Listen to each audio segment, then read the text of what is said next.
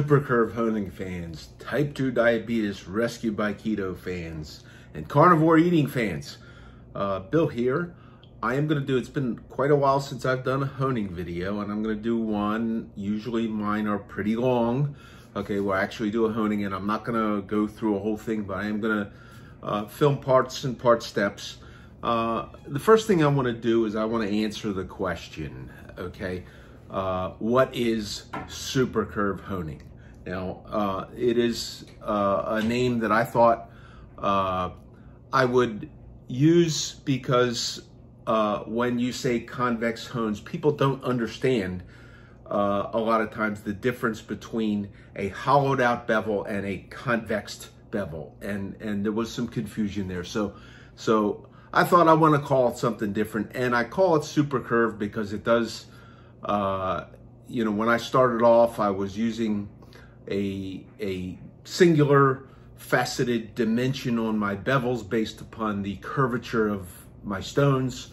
And, and uh, as I went along and developed, I found, found out uh, more and more, learned more and more, and came to the understanding that, that there are, are in the development of a hollow, in the manufacture and the development of a hollow uh, bevel or a hollowed out, full hollowed straight razor. Even be, uh, at the bevel, there are multiple different size wheels that are used to create curvatures that are not a singular curvature that you could take a compass and come up with. Anyhow, um, right before, as I was preparing to make this, um, uh, I noticed there was a comment on, on a recent YouTube thing that I came up with where somebody wanted to see information from antiquity because I had stated uh, that, that uh, the use of wheels, okay, wheels being what I use, wheels being a 12 foot wheel with a six foot cross crown and a six foot wheel with uh, I'm sorry, a 24 foot wheel with a six foot cross crown and a six foot wheel with a 24 foot cross crown. Okay, and I'll explain that in a minute. Anyhow, back to where this originated come from in, in antiquity. Uh, you can find me and you can find this stuff written. Okay, I, I have joined up over it, uh, uh, and I'm not plugging uh, any particular shave forum, but uh, people uh, somebody convinced me I should be at Badger and Blade because um, I practice this and there might be people interested in doing it. So this can be found uh, uh, translated courtesy of probably the the individual who is most responsible for uh, and and probably history will show that he will be the person most responsible for a paradigm shift in straight razor sharpening to to make this practice an acceptable practice. This goes back to uh, I think the date on this was 1840. This does not show the date. I think it's 1846 maybe. Uh, I'd have to check that, but uh, it was found in a German grinder's handbook in Germany by, uh, I believe, uh, Jared Connerty, who is the modern day uh, reviver of this practice. It's a long, long story how it got there, but he is the guy who really started started it. Okay, so uh, uh, and then his neighbor, I think it was his neighbor or his landlord who who had family in Germany went, and apparently there are are old libraries and stuff where there are documents that are stored that didn't get bombed out by the Allies and found this. Uh, JPO, JPO uh, who is a practitioner in this as well as other razor sharpening styles, uh, had this translated, from German into English. Uh, there it is. It talks about the use of multiple curvatures. Does it talk about specific sizes? No, it doesn't. Because I'm not so sure specific size, whether it's, you know, you know, uh, 24 foot, as I say, or or whatever. It's I'm not so sure it's the size. It's it's the idea that you are creating a hollow in the bevel. So uh, also, and I think the term from antiquity came came came up, and I have an antique. Okay, uh, this is the uh, convex razor hone-in strop, and I've made a video on this. Uh, this is uh, where's the uh, patented January 1843.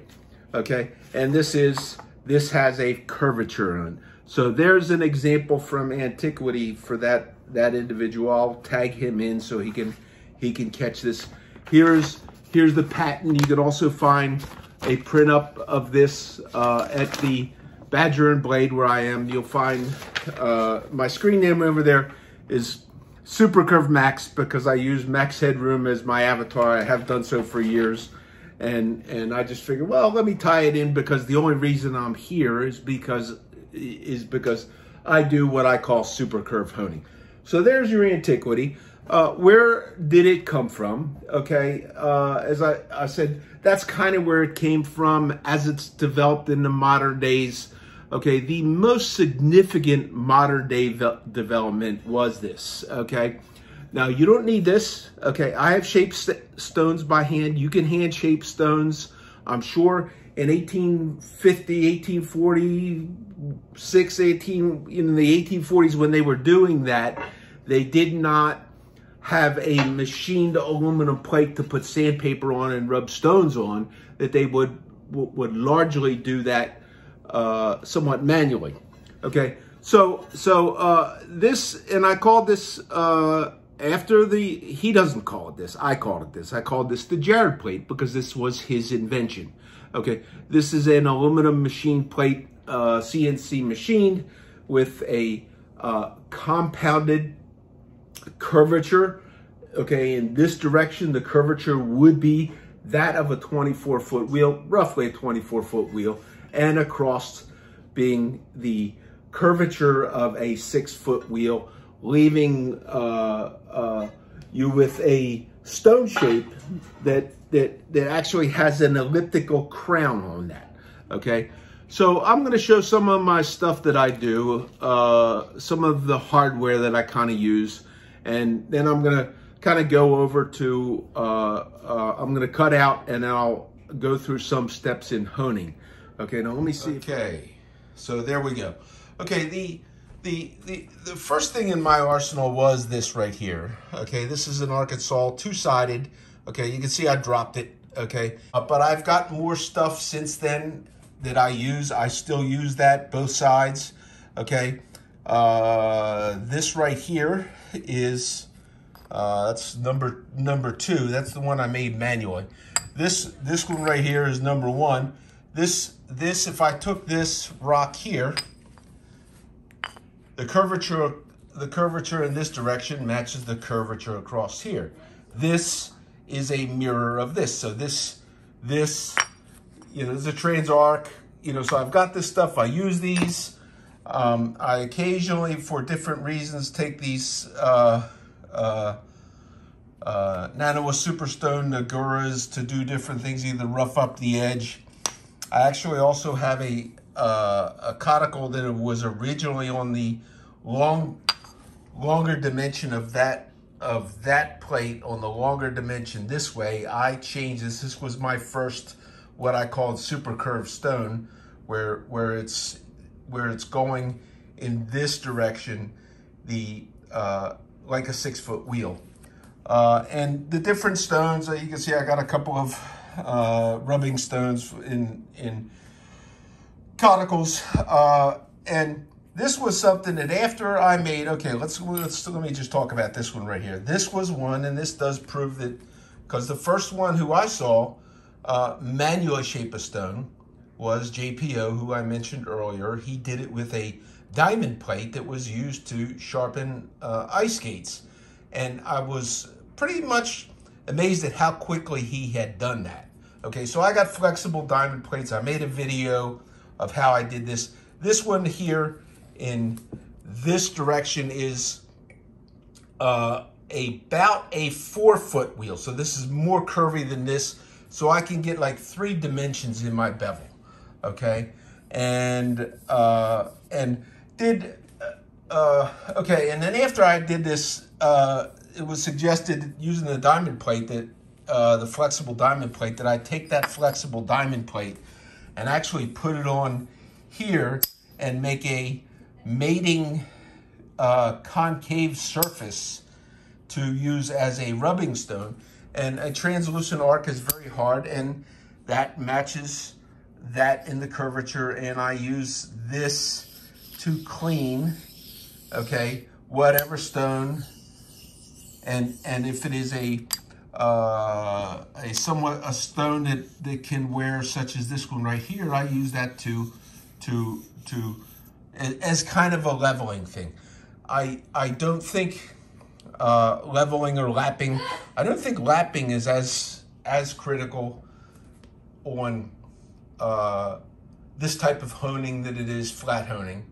Okay, and then the most recent, the most recent stuff are I shaped up a couple of uh, Naniwa, uh, uh, not Naniwa, uh, Norton uh, Waterstones. I got the single uh, grits because I wanted to work on some some some gold dollars and some stuff with that. I have a set of, set of nano uh, superstones uh, that I loaned out, and I thought, eh, I want something that wears a little bit better. So so far, what I've seen on this, I like this. I'm very surprised on the 8K at how much and how fine that is, uh, and what I see. And then here is here's an, an, an inner string one that I just got. Okay. I, oh, I didn't just get it, I just shaped it, okay?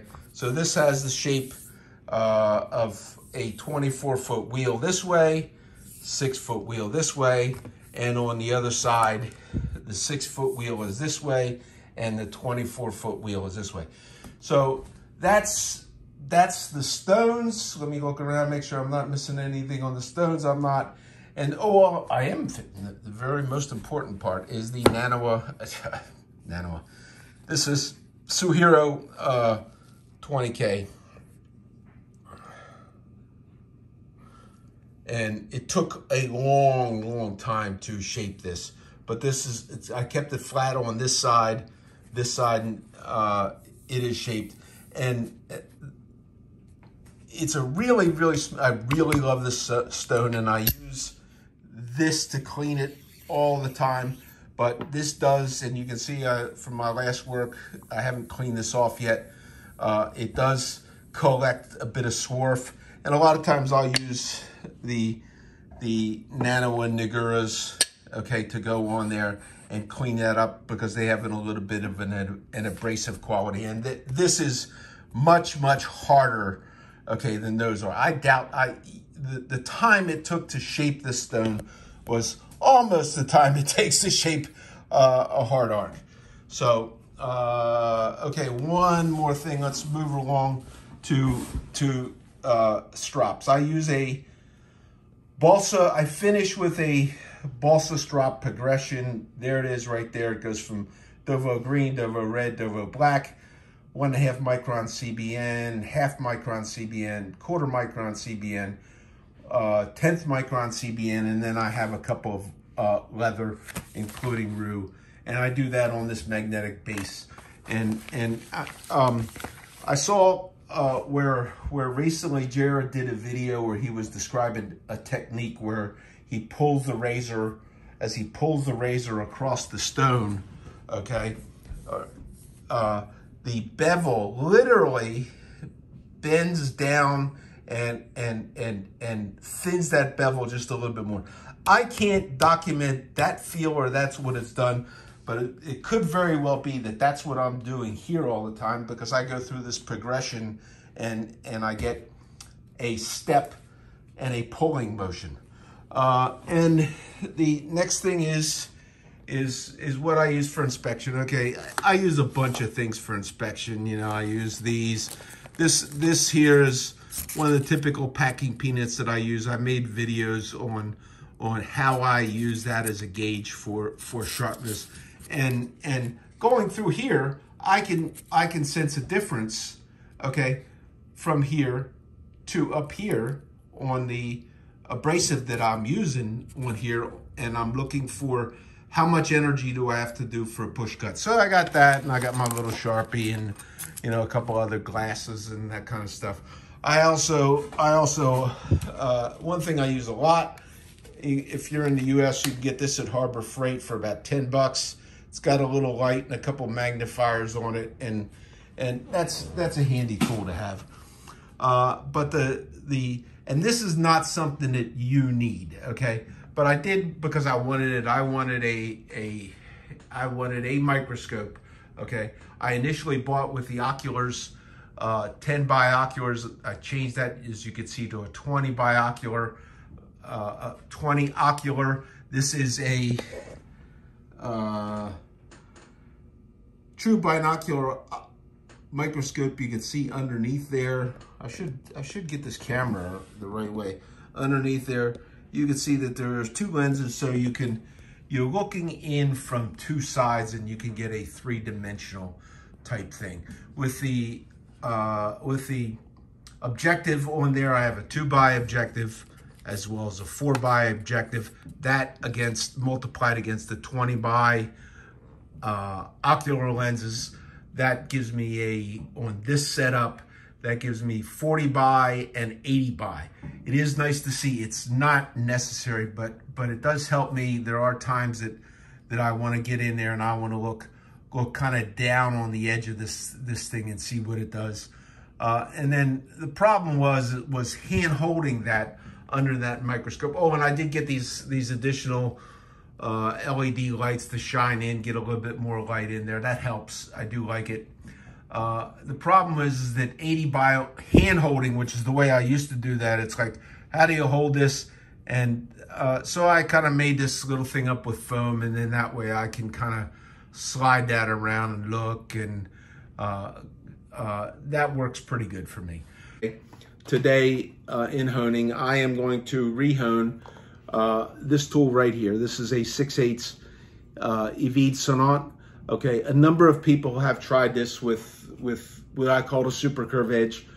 Uh, you know, you know, if they didn't like it, they didn't say so. This is the real curvy one. This is the four foot wheel.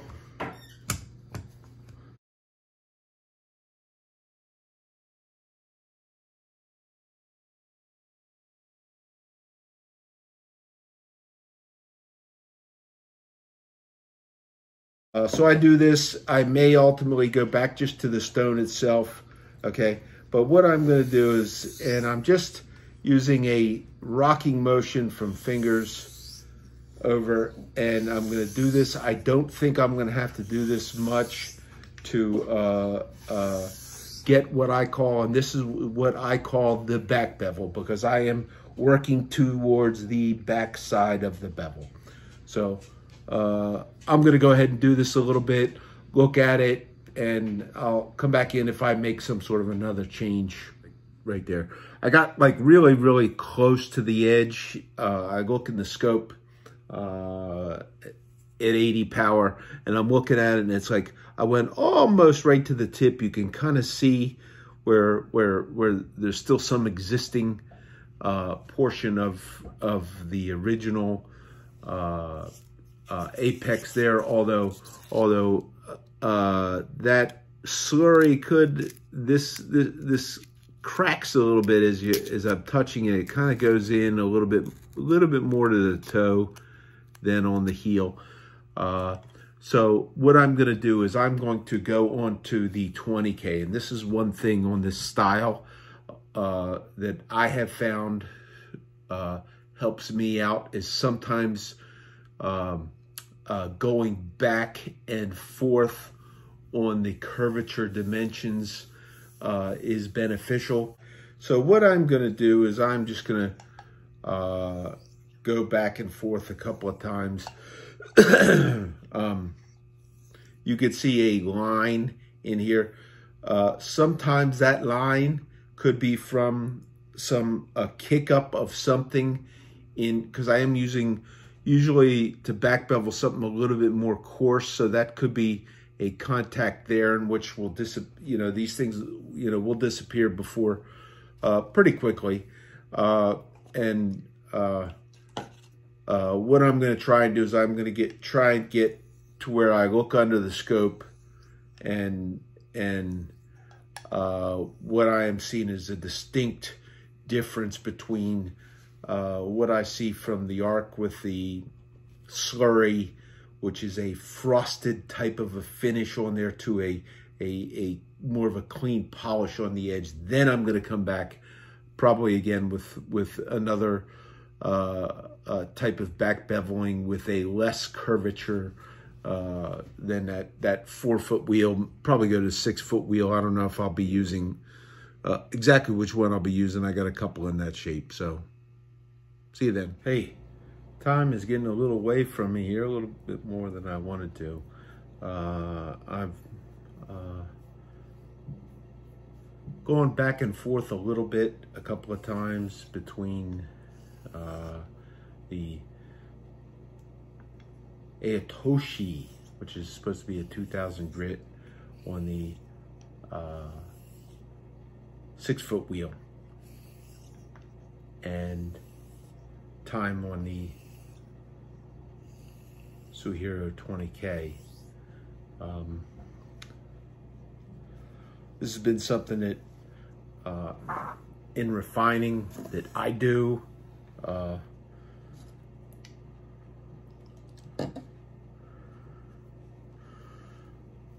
um, to understand a little bit about how the angle of the razor affects this. If one would think that this is the curvature across like this, any angling you do this way moves you more towards uh, the edge in your cutting uh, in a uh,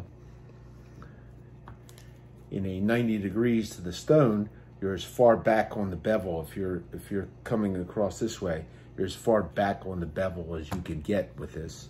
And uh, any turning moves you a little bit forward. And just the opposite happens here. When you're on here uh, at an angle uh, of 90 degrees, uh, you are as far away from the spine, as much on the uh, uh, apex as you can get with this stone. And any angling begins to uh, start your cutting. If your bevel's like this, it starts your cutting back into the bevel a little bit. And that's one of the uh, uh, artisan things you learn and how much how much movement to do in that. It's a little bit of practice. It's kind of fun to do. Uh, so I'm I'm kind of been going back and forth to try and get uh, uh, what I'm after. Okay, I'm just about done with uh, uh, this piece. I'm getting really, really close to where I like it. I've tried a lot of this different things as, I usually do. I'm really liking this uh, Aotoshi 2000 on the on the longer curve. Uh, I've been going back and forth with uh, uh, with these these two stones, and uh, I'm I'm I'm like what I look for is I look for I'm looking for that's a little bit you know I have to make a little bit of a slicing type move to get to get the cut that I want. So I'm going to go back and forth until I'm I'm kind of easily, I think the toe of this will uh, more easily push cut in there. So I got a little bit more work to do. I'm gonna go back and forth with, with, with uh, gentle, uh, slight X strokes. You have to roll a little bit either, any, any time. So I'm almost done. I'm almost ready to go to, to, to stropping a few more times at this until until I get the kind of push cut I want on that packing peanut. And then, and then we're gonna, uh, once I get that, I usually will go through the strops and, and I'm, I'm, I know that I'm usually pretty much done at that point. So, I'll check back in. I'll show you how I strop. And okay, I got, uh, I'm almost there with, with what I want to see. Um, getting a push cut that's really close on here where uh, so so I think I'm close enough on this to give this just a couple of few more uh, freshen this up and just some more of those light strokes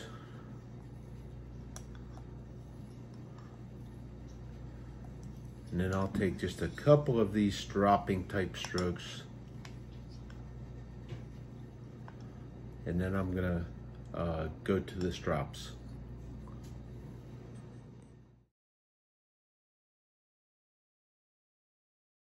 Uh, this is Dovo green paste. I think this is measured at three to five micron. Okay, from the Dovo green, that's a, a chrome oxide. This is Dovo red iron oxide. Here's another uh, type of uh, motion. I've, I've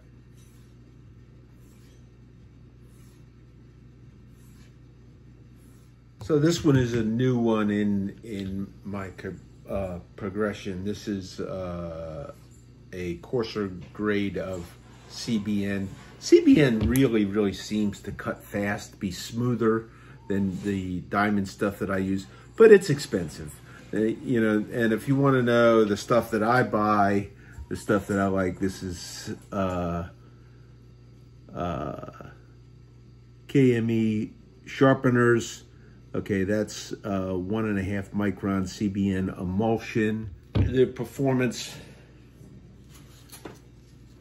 is is measurable. Okay.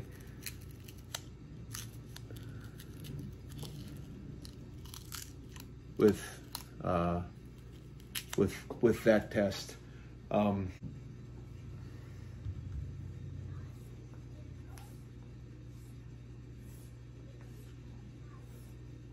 this is the final abrasive step. This is uh, 10th micron CBN. Uh, the uh, last two steps in uh, my progression are, this is a roost drop just this piece of roo. I, I, like this. I bought roo hide. I haven't had the uh, success with it that I've had with this. This was, uh, you can get these at Chef's Knives to go along with a mounting thing if you wanted to, if you're looking to go, and those kind of balsa blocks, you could get those there. Uh, I really like this, this particular roo. It has, it has, it is made for the paste and I, I haven't tried that okay? Because I, I just like the, uh, let's call, I, I think the term is a heavy draw, okay? And this is, this is the only step in my process where I get to actually be, be on flat. So if I've got curvatures in the bevel, at this point here, I am, I am actually addressing a little bit into the apex and for whatever for whatever give that that that this thickness of of roo whatever give that is is where you'll get some flexing and maybe some uh, actual uh, convexing of the edge as opposed to concaving. You know, I got these things from Chef's Knives to go. This is a shiny type thing, uh, it, it, and um, it's a lower draw. It's fast. Let's see if I can get a, a little a little sight on this here. Okay. Um, I don't know if you can get it on, but this is this is just just just falling it just falling into that.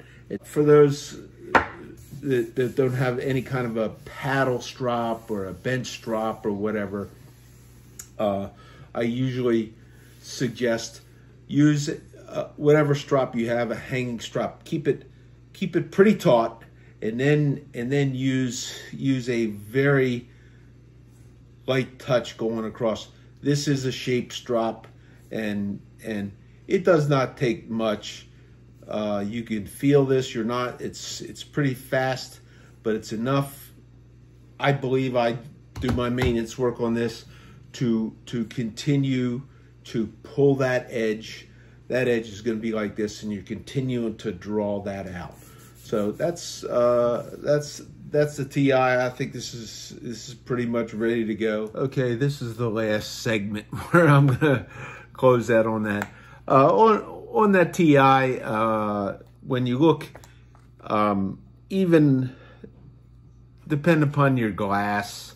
Okay, uh, one of these, which is cheap. This is supposed to be. This says this says uh, 40 by 25 millimeter. Nah, this is not a 40 by. Uh, it's probably about a 10, but they are uh, cheap enough. This is a little bit more of an expensive uh, uh, jeweler's type loupe. Uh, this says, wait a minute, wait a minute, let me look here. Okay. uh, triplet. Uh, so uh, this is a 20 by uh, and uh, you can almost kind of see it. A lot has to do, the what I'm talking about is the concavity in the bevel uh, or the hollowing of the bevel. It's You can kind of see it sometimes where where I'm kind of like on that that that curvature of the bevel where I'm like halfway in there with the different curves. Uh, my larger razor, 7 eighths and my one inch, uh, it's really, really clear where you really, really clearly see three. Three is not so much uh, because some of those razors are, are thinner. But I did say I'm not going to hone, hone it. I just, the, the time uh, today uh, has just kind of disappeared. So even the time to, to really put this thing together and upload it, I don't even know when that's going to happen. But it had promised to open up one of these gold dollars. Uh, so so this is this is un, unseen, unhandled by me. They, they they are coming in some nice packaging. I got you know I got some I got a couple of these things. I mean, it looked like they rick, rickshawed those uh, from China in on monsoon season. They were like wet and they were they gotten wet and busted up boxes and and rusty. This this box came and was like all taped up real tight and all that kind of stuff. No, maybe it's because I bought so many of the razors. So and and there's a there's a oil on here that you can you can feel. And I think I took one of these and I wanted to see, you know, could I shave with it? Could I use one of the strops that you, you know, if you buy a gold dollar and it comes with a strop and, you know, whatever, could you, could you shave with it? And uh, I actually did. I actually, it was rough. It was rough. But they take these things and, and uh, I'm convinced when they, when they make these things, and I'm pretty convinced that all of these different ones, okay, the typical gold dollar has, uh, has the stabilizers, uh, right in this area. And I'm I'm pretty convinced because I've held these up next to and I've looked at the blank form. I'm pretty convinced that it's the uh, the exact same razor blank. There's no difference in it. Uh, and even if you look at the ones that are fancy with a uh, the curve and the stabby points on it, it almost looks like you could hold that up on top of this blank and you could fit it in there. So it's like well, just how much do they grind away from it? Uh, and uh, this is this this has the newer. Let's see if it has uh, anything, any stamping. There's uh, there's literally nothing stamped uh, on the shank. Okay, no gold dollar number, whatever. Uh, this one seems to be have the shoulder ground ground well away. What I've found though sometimes is these you know, if, depending upon how you uh, position on the stone. Sometimes these are pretty fat. Uh, this one, this one does not appear to be quite, quite so fat right in here. I'll, I'll line it up with a, with a ruler and see. Uh, and you can see the, the, the laser etching. Let's, let's see what happens on this.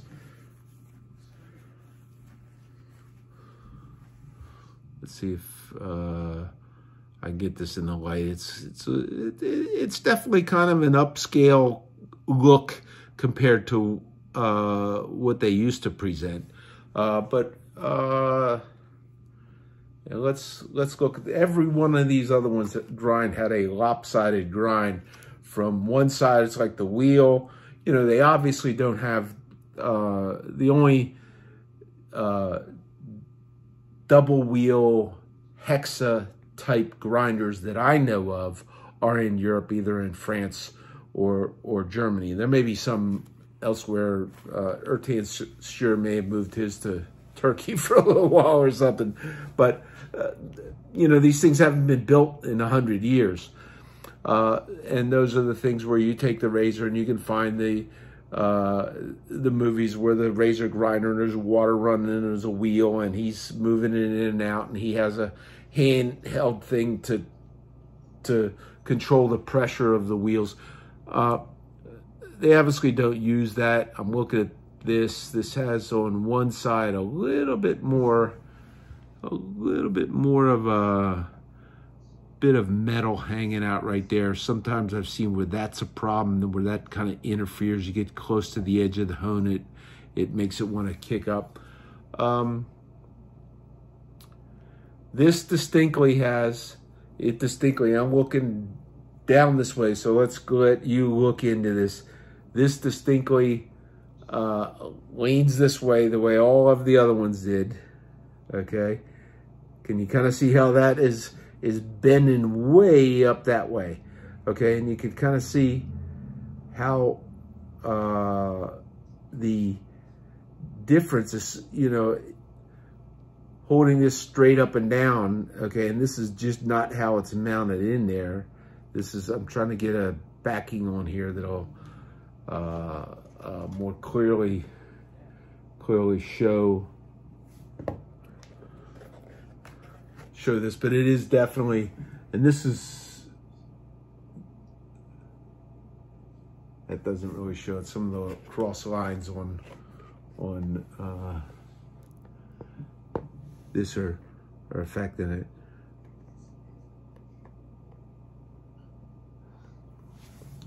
I don't know if that's a good illustration or not. I've had seven minutes to this thing. Uh, but I'm holding this straight up and down, okay? And I'm aiming into uh, the camera. I'm just gonna try and get this to focus, okay? I'm looking at this from this end, and what I am seeing, I'm seeing, and then I look looking at the camera, and you can kind of see how this portion right here, which is where your hone is gonna hit, is higher on this side than it is on this side. Let's let's see if we can focus, get a focus in on that a good shot of that. Can you kind of see how how low that is on this side and how much higher that is on this side? And that's that's that's showing also partly kind of shows how how the why the grinding of it has a tendency to to lean to the one side. You can see this is almost is it's almost like they used a bigger wheel here then they used a bigger wheel. And they don't use two different wheels. They would have somebody and they would grind one side and they would grind the other. They might even do it with a belt type grinder, but you would think that if they had a belt, any kind of a grinder and you would position it against something as it was grinding, it would be the same from one side to the other. It's not. Uh, I, I'm thinking that most custom razor makers who would be probably using a belt, something like that in the grinding, they have a table where they would put that in and they would do that. So that makes these uh, an exceptional challenge to hone. And uh, you can see how how different that is from one side to the other, okay? So uh, what that means is it means uh, to make the shave, I have to do a lot of material removal to do that. And I bought some, uh, you know, I think that's, that's why I bought the, uh, the series of Norton Superstones, not, not the Norton Waterstones and the big ones, and I wanted to shape those. I figured I'd want to try that, and because because I'll need to grind away at those. I actually bought some some diamond plates. I don't know how much I'm going to use that, but I'm I'm pretty intent on trying to figure out a quicker way because I'll take this and I can get this to shave, but I um, it, it's one of those things. It's a career. so uh, I'm going to go ahead and, and tuck this one back in. That'll be my project. If you get one of these and uh, and it has not been honed and they come from me and they're like, you know, it's like, it's like, oh, these scales, these are the coolest colors. I was to make, I was to, I got this and I actually have a couple of cases, leather cases that I ordered uh, at a, uh, reasonably nice price, seven set cases where it's a zipper like thing you can open up. I was going to make a couple of seven day sets, okay, uh, you know, that of these. Obviously, I can't stamp the stamp the date on them, but it's like, okay, so I got to grind the bejeebers out of seven razors. You know, it's like, oh yeah, that's that's that's going to take me a couple of months. if I can do one a day and take one day a weekend, you work one razor for one every weekend. Uh, I, you know, I just don't know. I mean, it's, it's, it's what we do. It's just like all this stuff that I've shown today and the stuff that we buy. It's for the fun of it. It's, it's for you to entertain yourself. I entertain myself this way. And, and, you know, fortunately I, I receive the benefit of, uh, uh, being able to provide uh, for myself a shave that that that that I like like a little bit better. But does, does that you know it's a hobby thing. Uh, if if it was not a hobby thing, I'd probably do like uh, now that I've learned how to shave on uh, sharp steel. Uh, lowest pressure, lightest touch, correct angle, stretch the skin. Now I've learned all that stuff. I could pick up any piece of tool and I can get a good shave. Okay. And I could have saved myself all this money, you know, on all these stones and all that kind of stuff, you know. Um, but it's, it's for the fun of it. Uh, it's, it's certainly not as expensive as a hobby as, you know, when I had horses, okay. You know, horses eat 18 hours a day and, you know, I had almost four of them. I was part owner in one, and it's like, you know, I did ride them. I had had a great time horseback riding. Okay, but it eventually just got to cost so much, and they eat whether you use them or not. it was the most expensive hobby I've had in my entire life. Now, I'm glad I didn't take up race boating uh, I did have a race boat. I, I mean, I did not, you know, I, I, raced it in backyard, in a backyard race, you know, one time. It was fast. Um, but I'm glad I didn't take up that or some of the other stuff. Uh, but um, uh, shaving and sharpening razors is not, not, you could spend a lot of money, but probably not as much as I spend in other stuff. But uh, I hope everybody has uh, a great week I don't know when I'll get this uploaded. Uh, sometime later later in the week, and I don't know what the total time on this is uh, until I put this all together. So thanks for tuning in. This is Bill out. Greetings, YouTube shave fans, super curve honing fans. Bill back again. If I've done my uh, work correctly, uh, today is February 20th. Uh, I'm if I do uh, what I plan correctly. Oh, this will be at the end. This will be the test shave on a couple of razors that I uh, super curved recently on a description. Uh, prep the face a little bit with uh, Proraso pre-shave. I started off shaving with that. I really liked it. Stopped using it for a while and uh, now I've gotten back to it. It just seems to be uh, very, very pleasant. Uh, the soap for today uh, is Sterling uh, Menthol Grapefruit. Um, Sterling usually does pretty, pretty good on uh, citrus scents. This is probably, it's good. It's just probably not one of my favorite of their citrus scents. I seem to think I've looked at other grapefruit stuff that I liked a little bit better, but it, I mean, it's okay. It's, it's okay. So, uh, the first one is this gold monkey, okay, that, uh, that I rehoned, uh, and both of these are off of the hones. They have, they have not been shaved, shaved with. So I don't know if you saw, you know, a couple days of fuzz on there.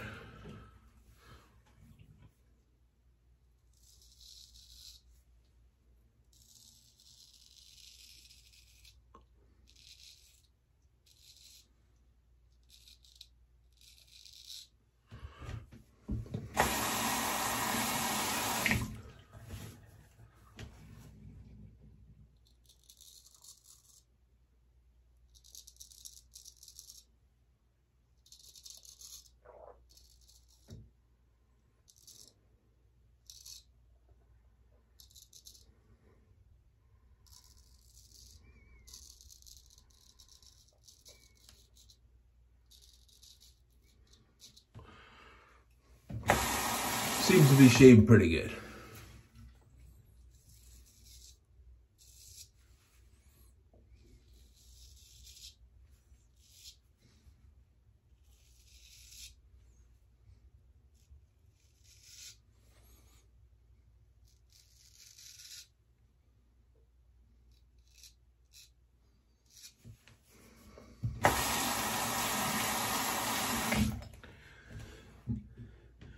And secondly, Thiers Issard, 6 8 Vide Sonore, uh, black plastic scales.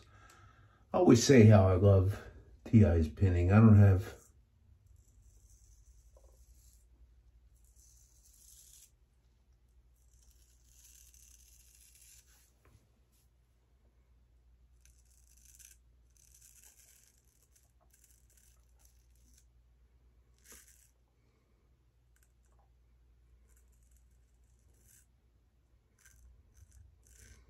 Don't have anything from them in wood, which to me is wood is the hardest to pin. Uh, I think all the ones I have from them are mostly horn. Actually, I do have a wood one. And it's the pin stays tight on that.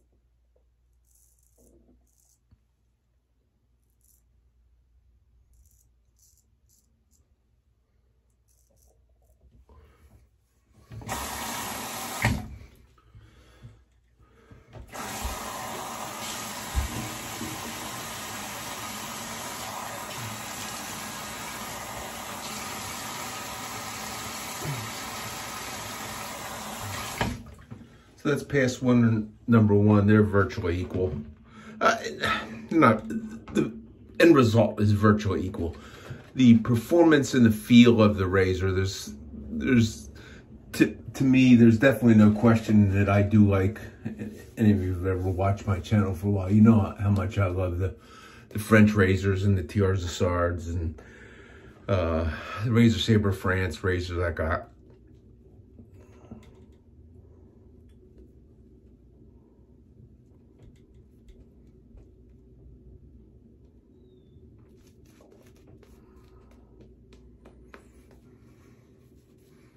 Whipped up the lather in the Sterling paddle bowl.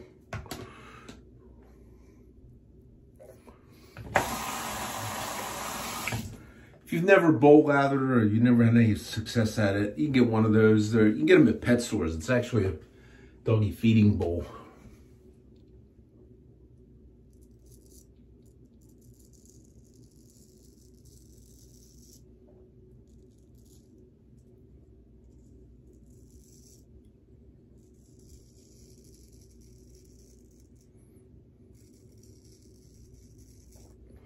Sometimes it whips up lather where I almost have to go back for more soap because it's so aerated.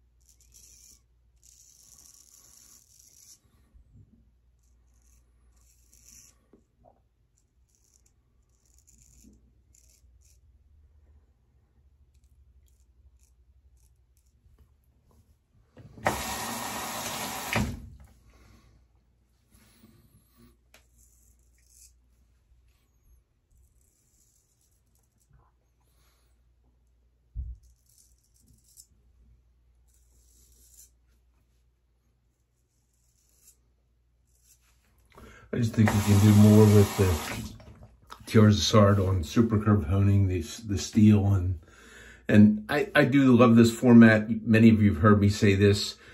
I think I like this 6 8 format. I like the long and the reach better. I think I like it better than the 7 8 ones I have.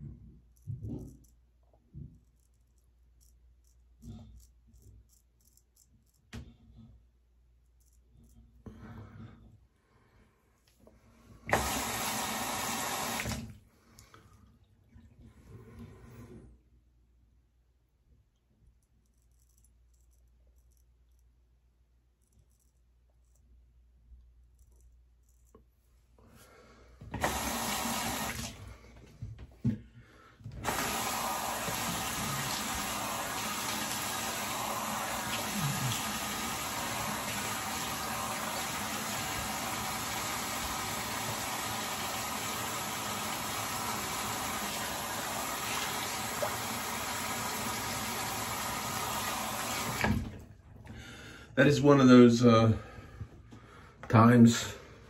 For me, it's it's always that with fresh honing. You can you could if you wanted to get by with two passes.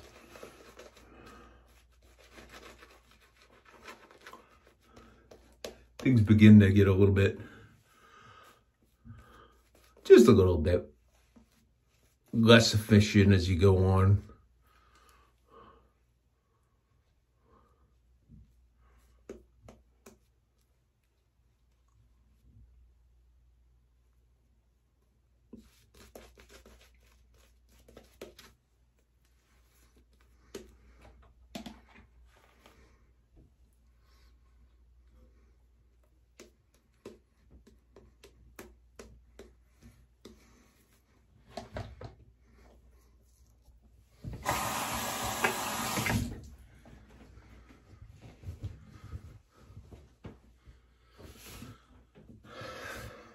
I'm just finishing up.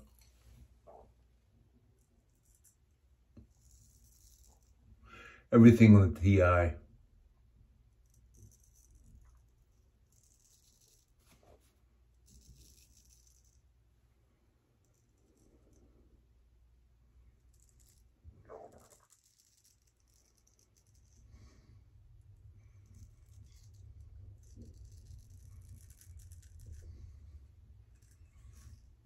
That's when the tough one right there on the downside where, where it's growing up.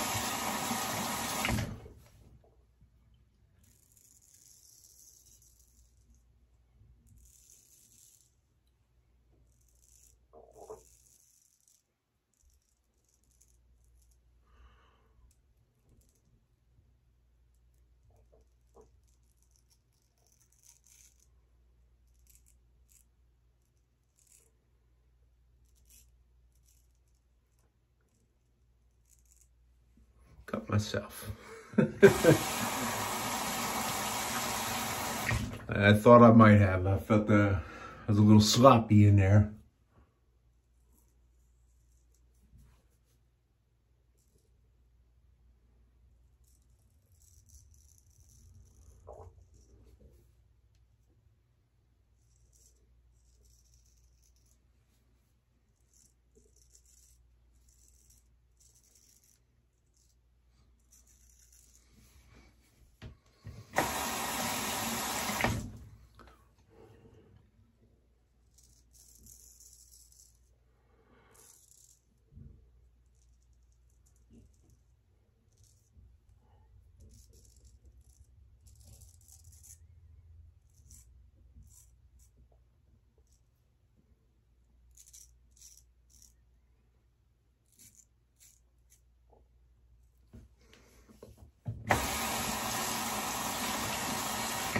Actually, I'm going to do a little bit of a fool's pass with the uh, the gold gold monkey.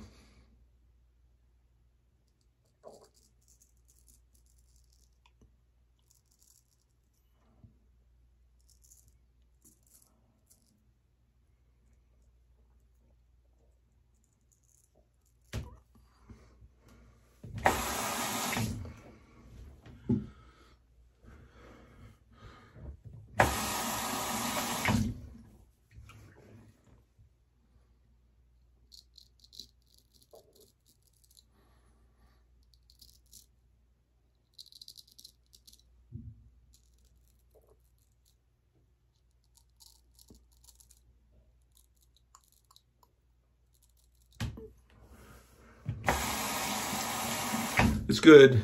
It's not as good as the TI, which I don't expect.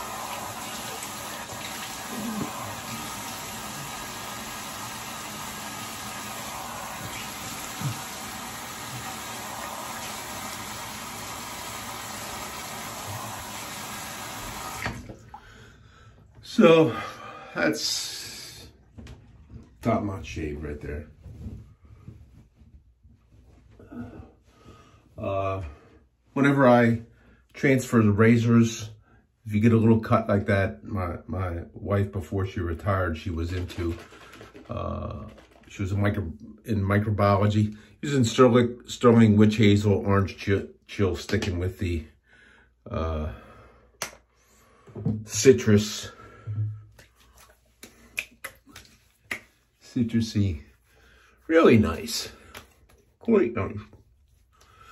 Uh, but that's why uh, whatever shaving piece that I exchange, I always go into uh, Barbicide with it. And on the follow the instructions right on there. It's there's a dilution rate and it's like 10 minutes or something like that. And uh, it it you know any any type of pathogens that will kill. Uh, if you ever do use that stuff, be careful about where, where you dump that. You don't want, it will kill fish. So you don't want to get that in a place where there's fish and uh, um, be careful about where you dump it. Okay. So the aftershave is matching uh, the grapefruit with menthol. Okay. This was the glacial menthol grapefruit. So uh, aftershave with, with menthol. Seasoning shave. I do like the smell of the uh, aftershave better than the soap. So, so that's it. That's uh, the shave. It's quick. I may even uh, truncate it down a little bit. Uh, uh, both razors tested good for me. Uh, this is Bill. If I hope you have enjoyed the information that I've put together on the concept of and my practice of uh, uh, using uh, convex hones and multiple different curvatures to hollow out the bevel. And uh, it's a thing that I do for me. Uh, anybody who's interested in that, uh, it's something to pursue. Uh, it's it's I've proven it time and time again. I've talked about it time and time again. It's not the only way. Uh, it's what I like best though. So this is Bill. Thanks for tuning in. Out. Bye.